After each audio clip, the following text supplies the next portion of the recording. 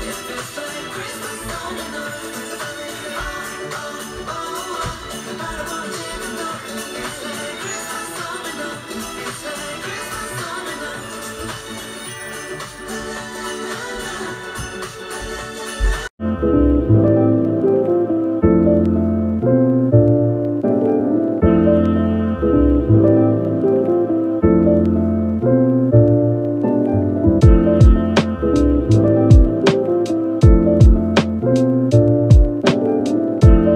Okay, so these are my options. I have this WinWin one, this Hendery one, or this Jisung, oh, or this Jisung one.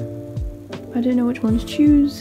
I'm just gonna try and mix and match and then like see. Oops, I did not mean to throw that hard. Anyway, we're gonna see which one fits best.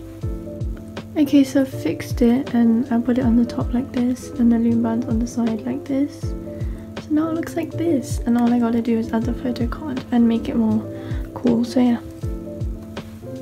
Okay so basically I have this um, packaging from the bowl so I'm just gonna cut off the Sailor Moon bits and then keep this so that I can back it up back it up back it up. on one of these. So it look nice. Oh wait you can't even see that. Yeah. Okay so I now finished cutting out some of these things I'm gonna keep these for future spreads or something. But for now, I'm just gonna blue tack it on just in case I wanted it. But I think I'm just gonna fit Hendery on here and then other things, so yeah. I then added the Hendery photo card and then there's a few stickers on the side. This one's actually um, supposed to be like J-Hope just as man. And this one's just a sticker. And now I'm gonna put this inside the wallet. And this is the final product. I feel like I will change it over time.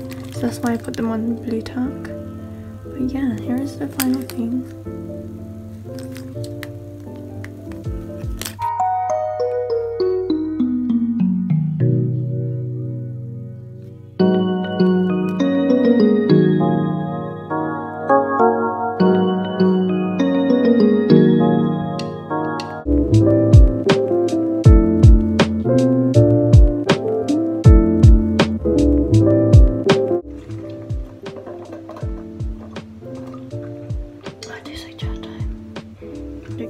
I also redid my desk area, so I'm gonna show you it. This, I'm gonna, I'm getting into like decorating photo cards and like things like that. So I've got all my stickers here that I've collected over the years. This is my like wallet thing that I just got from my friend and I just decorated it. this is my photo card book, which, I mean photo card holder, which you'll see in my past video. This is my pencil case for school which also has my BTS film thing. And I have my boba, which is not usually here, but anyways. I have a crystal obsession. I have more in the other shelf, but like, I used to love crystals so much. But yeah, anyways, in this pot is from my friend. I also wanted to show what else I got.